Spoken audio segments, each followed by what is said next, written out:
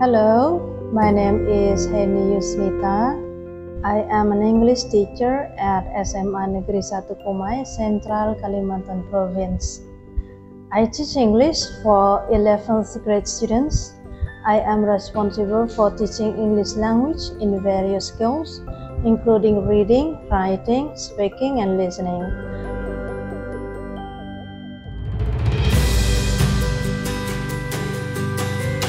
I joined this five webinar series held by Mr. Ahmad Fauzan, funded by the British Council. The topics I learned are introducing local environmental issues into language teaching classes, teaching with sustainability topics to increase student engagement, project-based learning in teaching climate change topic, workshop on developing relevant and contextual syllabus, and discussions on the actions taken by teachers for future development.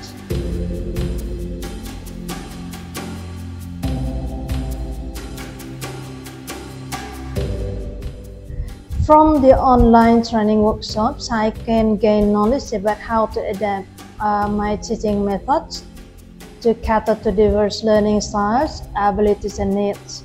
It also can provide insight into creating inclusive learning environments, ensuring that all students get access to better quality education. I visited Teaching English website and I think the website is very useful for us English teachers. I found that there are lesson plans, events, and learning resources that I can use to support my teaching practice.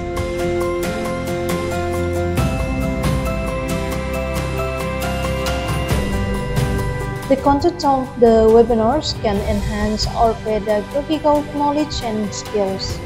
New teaching methods, technology tools, and best practices can be integrated into the classroom, improving the learning for students. Thank you, Pak Ahmad Fauzan and team and British Council. See you next time.